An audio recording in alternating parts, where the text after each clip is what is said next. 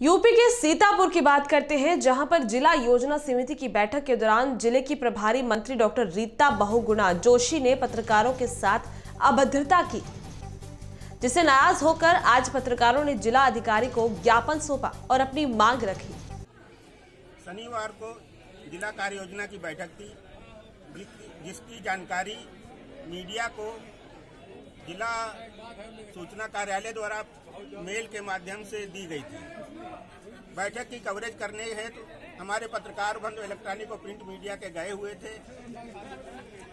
बैठक के दौरान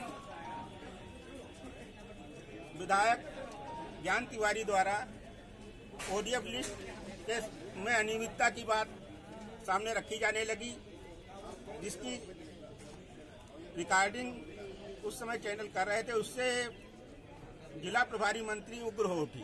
उन्होंने पत्रकारों के पत्र, अभद्र भाषा का इस्तेमाल करते हुए उन्हें सभागार से बाहर निकाले जाने का हुक्म सुना दिया, जो कि काफ़ी निंदनीय है। हम सभी पत्रकार बंधु, इस संबंध में आज जिलाधिकारी से मिल करके मुख्यमंत्री को संबोधित ज्ञापन प्रेषित किए हैं, जिसमें उनके कृत्य की निंदा करते हुए उनको प्रभारी मंत्री पद से हटाए जाने की अपेक्षा करते हैं।